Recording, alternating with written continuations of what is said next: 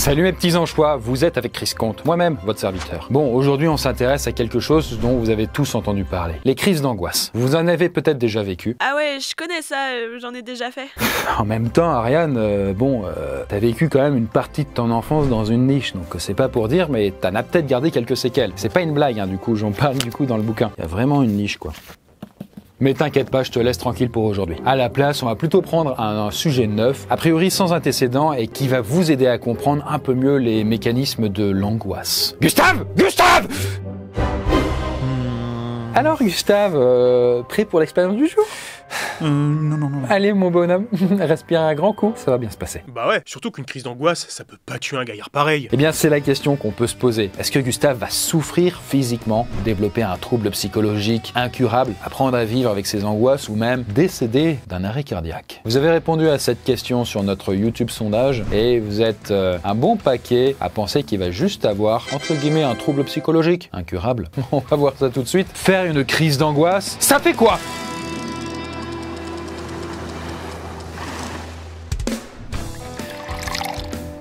Bon, eh bien, nous y voilà. Gustave va officiellement faire sa première crise d'angoisse.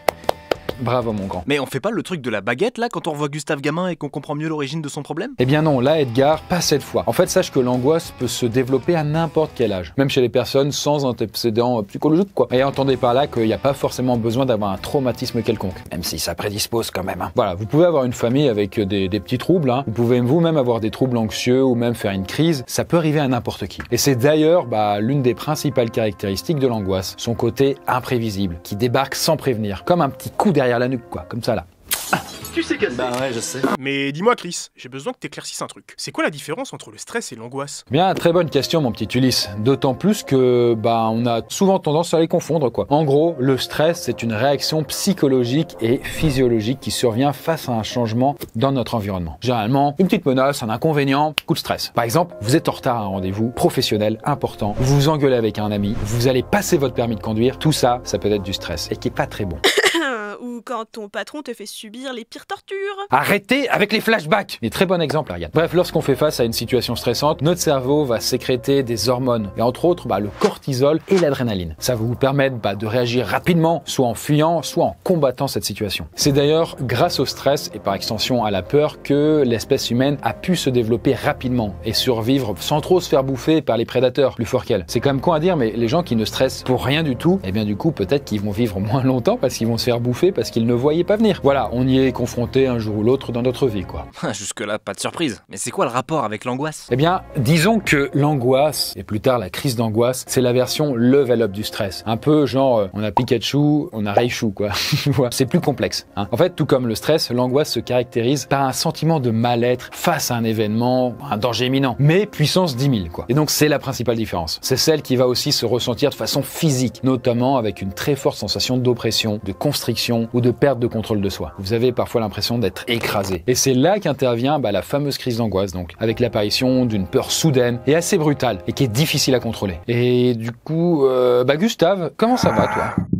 Attends, mais il s'est rien passé là, pourquoi il stresse? Bah en fait, euh, je crois qu'il a consulté le planning de sa semaine et il y a que des missions où il doit mourir. Donc ça l'a fait un peu paniquer quoi, voilà, je suppose. Et en vrai, ce qui rend l'angoisse aussi compliquée à cerner, bah, c'est qu'il arrive assez souvent que la personne concernée n'ait absolument aucune idée de ce qui a provoqué sa crise. Là, c'est peut-être ça, mais peut-être que c'est pas ça, c'est pas le planning. C'est peut-être plus, euh, je sais pas, le fait de se retrouver tout seul avec euh, Gustine, peut-être. Ils ont un problème dans leur couple, on sait pas. Après, il y a certains trucs déclencheurs, hein. par exemple les phobies, les traumas du passé, la consommation de drogue, même des antécédents de dépression ou de burn-out, hein, c'est possible. Mais la plupart du temps, la personne va ressentir un mal-être intérieur qui est très difficile à expliquer. Par exemple, là, je suis entouré de plein de gens, c'est la foule, et donc du coup, il y a des gens, ils seront agoraphobes, et ça, ce que vous voyez là, hop là, direct crise d'angoisse. Mais le pire, c'est que l'angoisse, c'est un sentiment nébuleux, et on peut le confondre avec des douleurs classiques, comme ben, des maux de tête, des problèmes respiratoires, ce qui va un peu compliquer euh, pour savoir ce que c'est. D'ailleurs, autre détail important, mais l'angoisse est propre à chacun, et tout le monde va pas vivre la chose de la même manière. Eh ben super, ça va être hyper simple de l'identifier celle-là. Pas de problème Ulysse, on est là pour ça, on va rentrer dans le cœur du problème et dans ses noirceurs.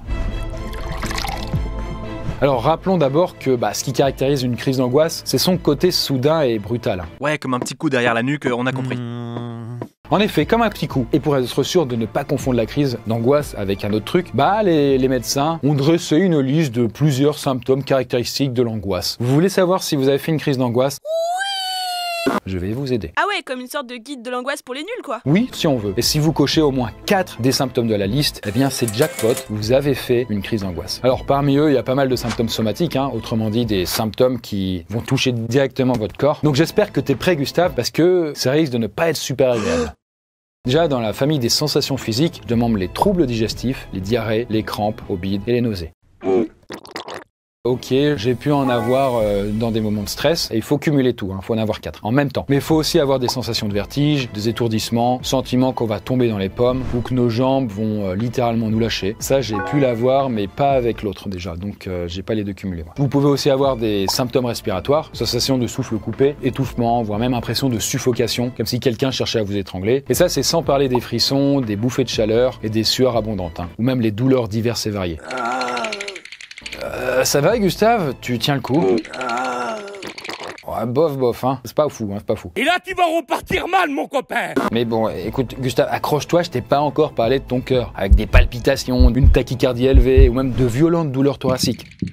Euh, ouais, là, on dirait qu'il est en train de crever. Là, Gustave, il va pas bien, parce que là, il a tous les symptômes, lui. Mais rassurez-vous, déjà, une personne va rarement avoir bah, tous ces symptômes en même temps. Et même si je sais que c'est super impressionnant, qu'on a l'impression qu'il est en train de nous faire un petit arrêt cardiaque, bah, il n'est pas en danger. Il n'y a aucune menace réelle pour son corps, là. Par contre, bah, certaines crises peuvent être encore plus intenses. Et on les appelle alors les crises d'angoisse aiguë ou même les attaques de panique. Et du coup, elles, en plus des symptômes physiques décrits juste avant, on va avoir des symptômes au niveau de- du cerveau assez inquiétants. Par exemple, la peur de devenir fou ou de perdre le contrôle de soi-même. Ou même un sentiment de détachement vis-à-vis de soi-même, comme si on n'était plus tout à fait dans son propre corps. Même peut-être simplement l'impression de décéder. Ah ouais, grosse ambiance Euh, ouais, bah en tout cas, je résume grossièrement les choses. Il y a ces deux types-là, et il y en a un qui est un peu plus hardcore que l'autre. Mais justement, regardez, là, Gustave est en train de se calmer calmer.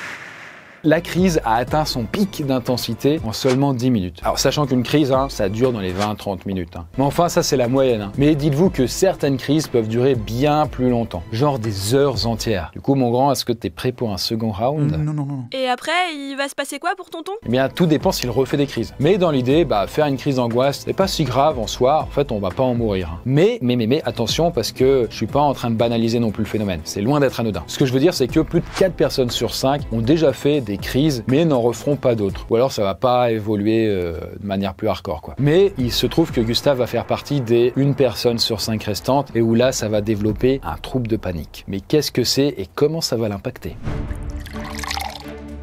Eh bien voilà plusieurs semaines que notre Gustave national fait des crises d'angoisse en répétition, à raison de quand même plusieurs crises quotidiennes très intenses. Mais ce n'est pas une généralité, hein, parce que la fréquence des crises est très variable en fonction des patients. Il y a certaines personnes qui peuvent en souffrir régulièrement pendant des mois, tandis que d'autres peuvent subir des petites crises quotidiennes avant des longues périodes de calme. Ah, donc tu crois que ça va mieux? Et en fait? Pas du tout C'est ça. En fait, au fur et à mesure de ces crises, une sorte d'anxiété et d'anticipation va s'installer. Et en gros, bah, ça veut dire que Gustave va vivre perpétuellement dans l'angoisse de subir une nouvelle crise. C'est vraiment la peur de la douleur, quoi, tout simplement. Et là, bah, en vrai, j'ai beau essayer de rassurer Gustave ou le raisonner, ça fait rien du coup. Ça ne change rien. Il est persuadé que ça va recommencer. En même temps, euh, je peux pas trop lui donner tort, quoi. Allez, Gugus. Hmm.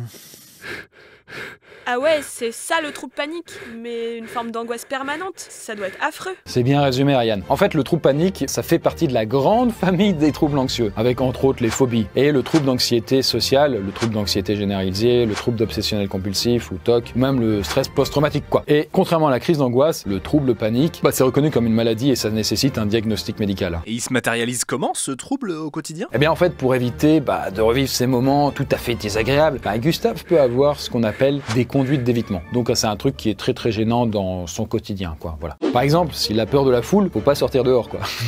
c'est basique. Mais bah, s'il a peur de voir certains de ses proches, pour éviter les conflits, bah, il doit s'abstenter de les voir. S'il a un problème dans son travail, faut éviter d'aller au travail, qui va être très compliqué, vous imaginez bien. Et ça, c'est difficile d'en sortir sans obtenir de l'aide. Et là, du coup, bah, on sait pas pour Gustave, est-ce qu'il a peur des gens et tout. euh, voilà. Il y a qu'un moyen de savoir, c'est de tester. Donc, Gustave, si t'allais prendre un petit peu l'air là dans la rue, euh, Lyon, c'est pas mal, hein, du coup, euh, sur la presqu'île, il y a pas mal de gens, c'est très blindé. Bah, viens.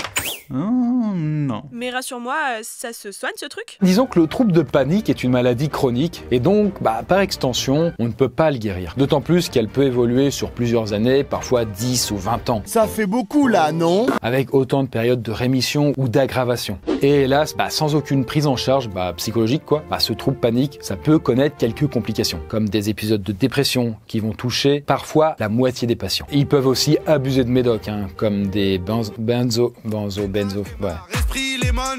comme des benzodiazépines, qui sont des produits qui ralentissent l'activité cérébrale, ou même encore l'alcool qui concerne plus d'un quart des patients. Mais le problème de ces substances, c'est qu'on va en consommer pour leurs propriétés apaisantes et anxiolytiques. Mais au final, ça ne fera qu'entretenir un cercle vicieux, et ce sera encore pire. Et, et- et Gustave, Gustave, lâche cette bouteille tout de suite Pff, Il fait n'importe quoi, quoi. écoutez, écoutez. Mais enfin Et avant que ça devienne encore pire, on va tout faire pour que Gustave s'en sorte. Ou du moins, bah, qu'il apprenne à vivre avec ses angoisses. Mais ça va être plus compliqué qu'il y paraît. Comme on va le voir tout de suite.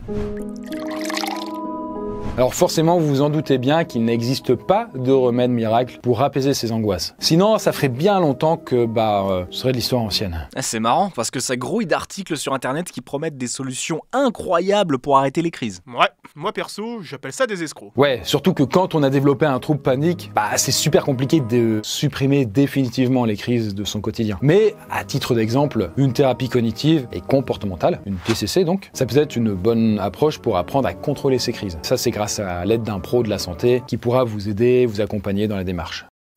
Mais il existe aussi tout un tas de méthodes qui sont moins conventionnelles hein, et qui peuvent aider à apaiser les crises. Par exemple, quelque chose qui peut vous aider à maîtriser votre respiration lors d'une crise. Mais il y a aussi les méthodes de relaxation, on va se concentrer sur nos sensations physiques, en serrant les poings très fort par exemple, en enfonçant les pieds dans le sol, en contractant tous les muscles du visage. En gros, ça permet de se concentrer sur la réalité physique et pas psychique. Et c'est plus facile à mettre en place que la méditation, ça par exemple. Mais bon, vous avez aussi des huiles essentielles comme la lavande qui peuvent être efficaces pour euh, apaiser le système nerveux. Ah, et d'ailleurs, Chris, t'as des conseils pour ceux qui voient quelqu'un faire une crise? Bah encore une fois, ça dépend des gens. Certains voudront rester seuls, d'autres préféreront qu'on leur parle. Donc bah, c'est compliqué de savoir hein, comment agir face à ça. Si vous avez quelqu'un qui fait une crise d'angoisse, un proche, bah vous lui demandez euh, ce qu'il préfère. Mais vous pouvez aussi essayer la technique 5 4 3 2 1 qui va se baser sur les cinq sens. En gros, vous ramenez tout doucement la personne à la réalité en l'aidant à se concentrer sur ses sensations physiques. Par exemple, cinq choses qu'elle voit, ça, ça, ça, ça, trois choses qu'elle touche, ça, ça, ça, des choses qu'elle entend. Donc n'hésitez pas à tester ça si vous êtes confronté, vous m'en direz des nouvelles. Mais l'important, c'est de trouver la solution qui vous correspond le mieux.